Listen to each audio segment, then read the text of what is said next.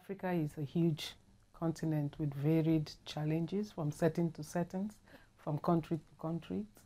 Um, but I would like to start by saying that the major challenge now would be the lack of data. Lack of data on refractive error and refractive services. So it makes um, planning and implementation and even assessment of implementations very difficult. Another challenge will be the varied human resources providing uh, refractive error services. We have some that have been trained for a few weeks to those who have been trained for six years. And so the skills, in, in some parts, the skills are almost not there. And then you have the super skilled ones. Um, even the, those who are now trained as uh, optometrists, for instance, in some countries where you have adequate number of optometrists, there is the issue of maldistribution. So you have very well trained personnel, but they are all crowded in the city areas.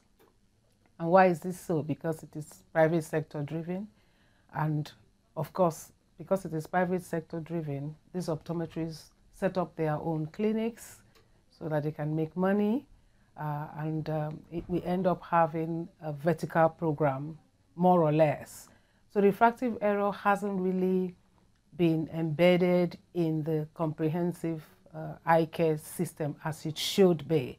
In some countries where, uh, for instance, in Nigeria and in Ghana, where a little bit of refractive error is going on in the public hospitals, we still do not have the provision of spectacles. So these are some of the challenges um, that you, we have in refractive errors here in Africa leads me on to the next part, which is you've raised the point of human resources.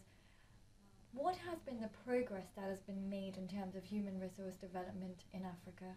One of the key developments, I would say, is the, uh, the existence now of training schools in Africa. So training schools are available now for the French speaking.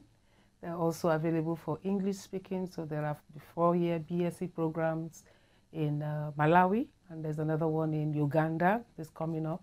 And Eritrea actually has uh, started uh, as, you know, graduating students. So this is a very important development. And we also have um, a school in Mozambique uh, for the Portuguese speaking. So this has opened up um, uh, access to all Africans who intend to to study optometry. So this is actually a good development yeah, for optometry. It's, it's great to see the development that's being made in terms of human resource training. In your experience and, and in the Nigerian setting then, what would you say is the acceptance of spectacles? How are they received in the community? They are not well received in the communities. Now, in the cities and amongst uh, those who are educated, yes, spectacles are accepted, but quite a large number of people still reject spectacles as um, a management or a, treat, a, a means of treatment. Um, there's quite a lot that needs to be done. There's quite a lot of investment that needs to be done to change these beliefs, their cultural beliefs. Sometimes it's the cost, sometimes it's peer pressure, sometimes it could be as a result of you know, not feeling the need to have spectacles uh, on. And we also find out that uh, some have actually developed coping skills. So even with large uncorrected refractive errors, they are able to carry on life, you know, at least to some extent, and they think that that is fine. So we still have a lot to do. I would say no. Yeah, spectacles are not accepted to a large degree. And thank you for summarizing such a huge and vast topic of um, uncorrected refractive errors. The points that you've raised, the challenges, the barriers, they cannot just be seen in Africa, we see them globally.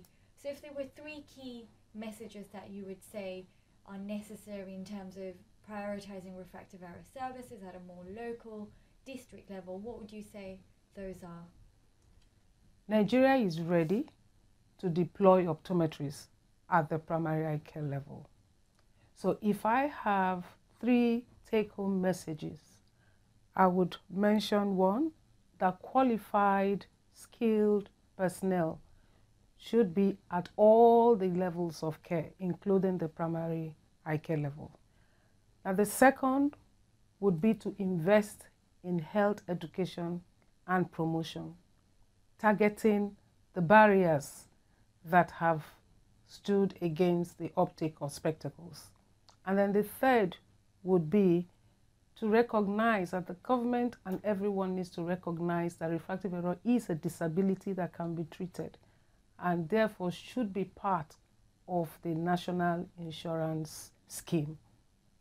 Thank you, Anne, for summarizing that for us. It's been very informative and it's helped to raise some key points that are needed in terms of overcoming uh, the correction of refractive errors.